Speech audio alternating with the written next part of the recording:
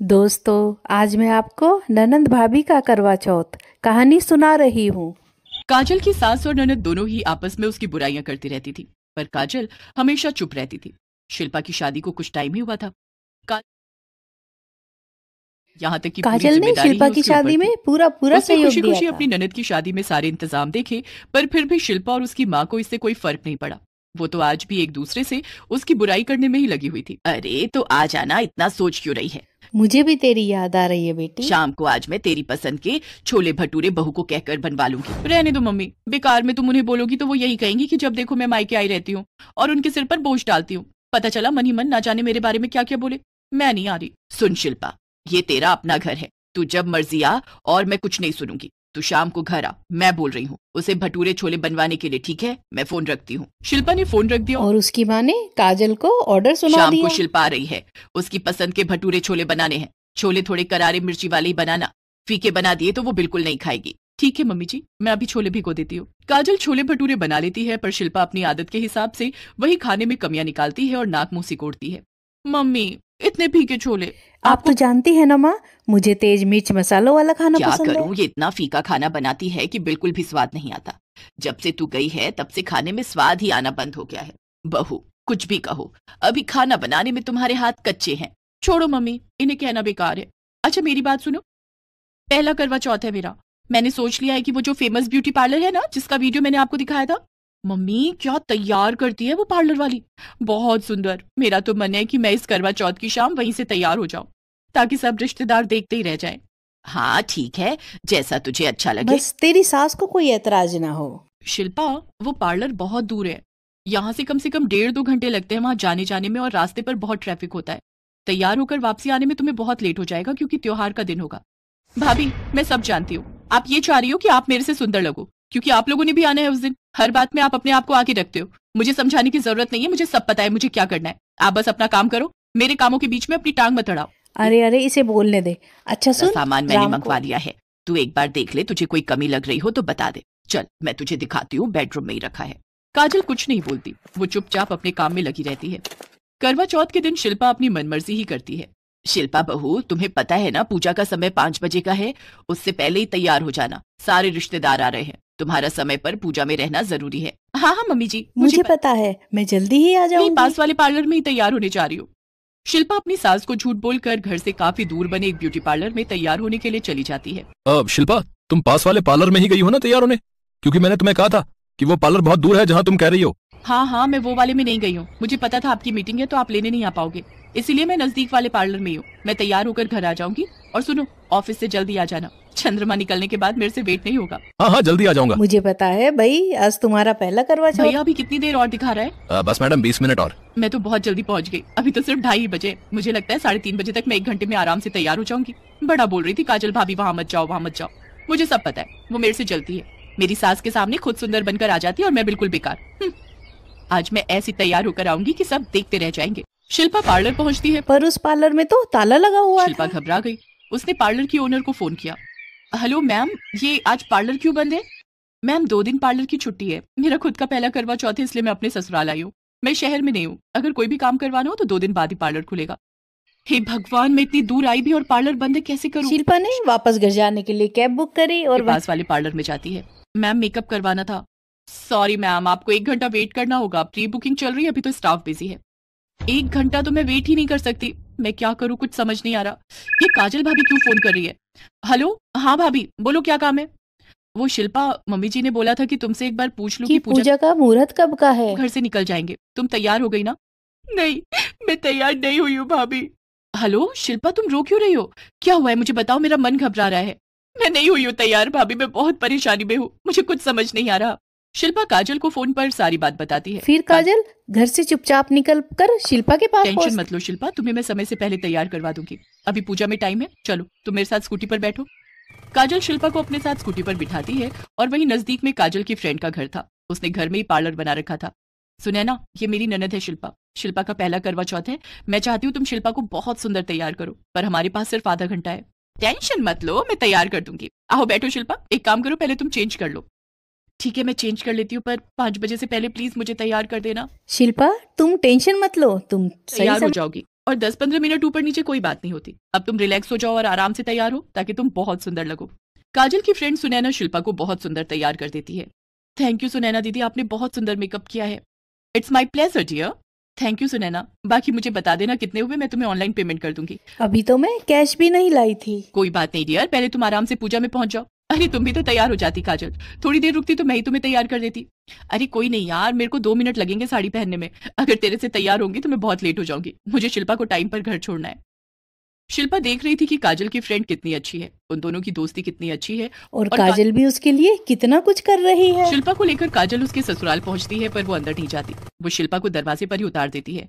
Shilpa time पर घर पहुँच चुकी थी इसलिए सब बात संभल जाती है। शिल्पा की मम्मी भी पूजा में पहुँच चुकी थी पर काजल को तो अभी तैयार होना था इसलिए वो घर पर तैयार हो रही थी। देखा शिल्पा तू इतनी दूर से तैयार होकर लौट भी आई और काजल को देखो पता पता ही नहीं स्कूटी लेकर कहाँ निकल गई? मुझे तो लगता है किसी पार्लर में तैयार होने गई होगी। अभी तक उसका कुछ पता नहीं। यहाँ देखो तुम्हारी सास और बाकी रिश्तेदार पूजा में बैठ भी गए हैं। एक काजल है हमेशा। हम्म। मम्मी भाभी के लिए कुछ गलत मत बोलो। आपको पता है आज मैं भाभी की वजह से ही तैयार होकर पूजा में पहले पहुँची हूँ। शिल्पा अपनी मम्मी को सारी बात बताती है। मम्मी काजल भाभी बहुत अच्छी है। हम दोनों बेकार ही उनकी इतनी बुराइयाँ करते थे। मम्मी हम दोनों को वादा करना होगा। अब हम काजल भाभी के लिए कभी कुछ नहीं बोलेंगे। आप भी उन्हें कुछ मत बोलना। वो बहुत अच्छी है। अभी शिल्पा अपनी माँ से बात कर ही रही थी कि काजल है। वो सॉरी मम्मी जी तैयार होने में थोड़ी देर हो गई। काजल मुझे शिल्पा ने सब कुछ बता दिया है। कोई बात नहीं बहू। चलो पूजा में बैठते हैं। आइए बहन जी। आओ काजल। शिल्पा आओ पूजा में बैठो बहू। सब लोग मिलकर करवा चौथ की पूजा करते हैं। शिल्पा भी अपनी भाभी का बहुत बहुत धन्यवाद करती थैंक यू भाभी। आप बहुत अच्छी हो। मेरी प्यारी ननद भी तो लाखों में एक है। शिल्पा अपनी भाभी काजल के गले लग जाती है। काजल भी अपनी ननद को प्यार से गले लगा लेती गरीब बहू का करवा चौथ। अंजलि की सास आशा देवी कमरे में बैठी एक लंबी सी लिस्ट तैयार कर रही थी। ये क्या तुम सुबह सुबह हिसाब किताब में लगी हुई हो? बड़ी देर से देख रहा हूँ। अरे भूल गए क्या? बहू का पहला करवा चौथ है।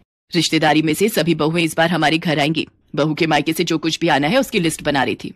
आशा ये सब करना क्या ज़रूरी है? अरे बहू के पिता तो पहले ही शादी के लिए खूब सारा लोन ले अब चुके उनको कपड़े की दुकान से दस हज़ार रूपए माह की ही तनख्वाह मिलती है।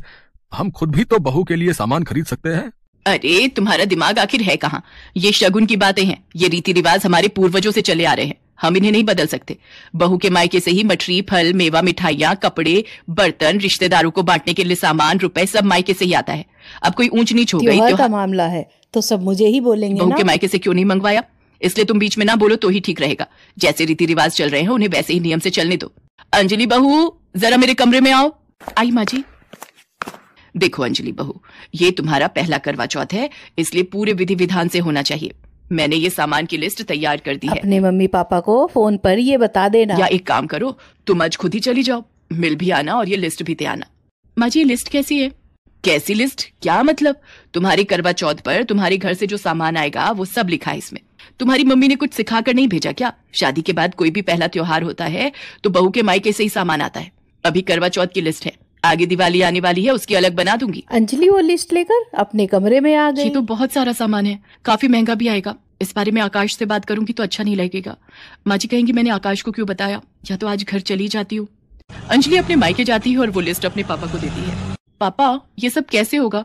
अभी तो आपने शादी के लिए लोन लिया था। वो भी चुका रहे हो। और सारे त्योहार लगातार ही आ रहे हैं। मेरी वजह से आपको कितनी परेशानी हो रही है।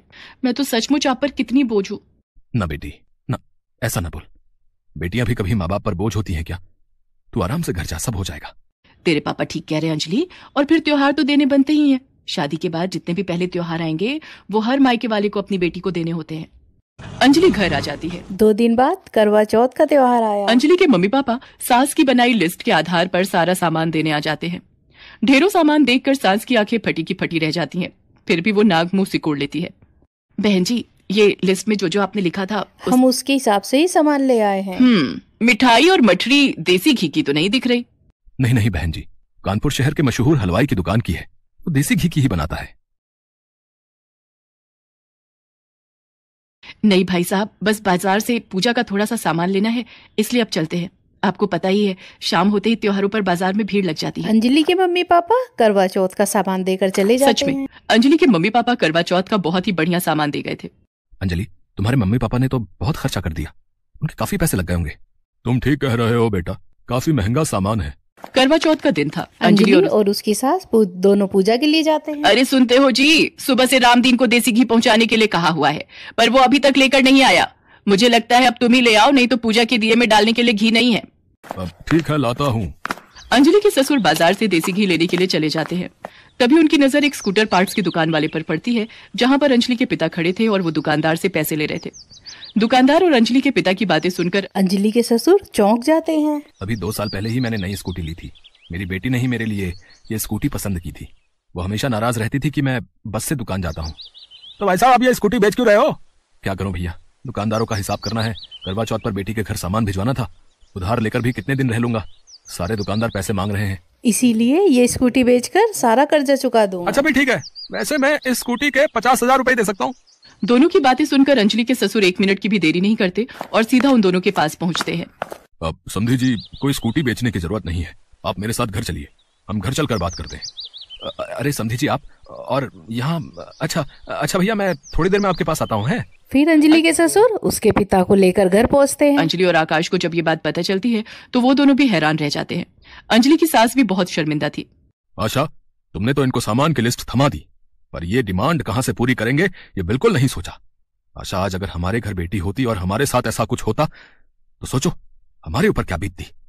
एक बेटी के माता पिता के नज़रिए से सोचो आशा। और अंजलि को तो हम अपनी बहू नहीं बेटी बना के लाए हैं ना? तो फिर उसके त्योहार के लिए हम उसके मायके वालों से क्यों खर्चा करवाएँ? फ़र्ज़ तो हमारा बनता है ना क्योंकि अंजलि अब हमारे परिवार का हिस्सा है। आप सही कह रहे हो। मुझसे बहुत बड़ी भूल हो गई। मुझे माफ़ कर दीजिए भाई साहब। आज आपको मेरी वजह से ये दिन देखना पड़ा। अरे अरे आप ऐसे माफ़ी मांगकर मुझे छोटा मत कीजिए बहन जी। आप चिंता मत कीजिए। मैं उधार के पैसे चुका दूँगा। पापा आप अंजलि के पिता हैं तो मेरे भी तो पिता है ना। आपने एक बार भी मेरे से नहीं पूछा। मेरे से अपने मन की बात शेयर नहीं की। क्या आप मुझे अपना बेटा नहीं मानते हो? आपको कोई स्कूटी बेचने की ज़रूरत नहीं है। जितना भी सामान खरीदा है उसके पैसे मैं दूँगा। आपका बेटा देगा। आकाश ठीक कह रहा है समधी जी। और मेरी एक विनती और है। शाम की पूजा के लिए समधन जी हमारे घर ही आए। हम सब मिलकर करवा चौथ की पूजा और आरती करेंगे। अंजलि को भी अच्छा लगेगा। अंजलि की आँखों में आँसू आ गए। और वो आशा के गले लग जाती है। आशा देवी को समझ आ गया था कि ये सब रीति रिवाज हम इंसानों ने ही बनाए हैं। और ये सच है मिल बांट कर कोई भी काम करने से काम बोझ नहीं बनता। इसलिए यदि लड़के वाले अपनी बेटी दे रहे हैं तो लड़के वालों को भी समझदारी दिखानी चाहिए कि लड़की के माता पिता पर ज़बरदस्ती का बोझ न डालें। जितना जिसकी हैसियत है, उसी के अनुसार रीति रिवाज की रस्में पूरी करनी चाहिए। यही समझदारी है। फिर चाहे वो लड़की का ससुराल हो, चाहे मायका, आज अंजलि के चेहरे पर मुस्कान थी। सब मिलकर करवा चौथ की पूजा करते हैं और धूमधाम से करवा चौथ का त्योहार मनाते हैं। दोस्तों, अगर आपको ये कहानी पसंद आई हो तो like share comments and subscribe ज़रूर करें। Thanks for watching